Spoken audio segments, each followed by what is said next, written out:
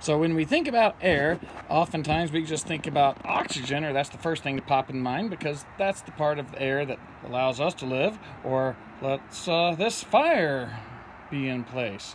But actually, the most abundant element in our atmosphere is not oxygen.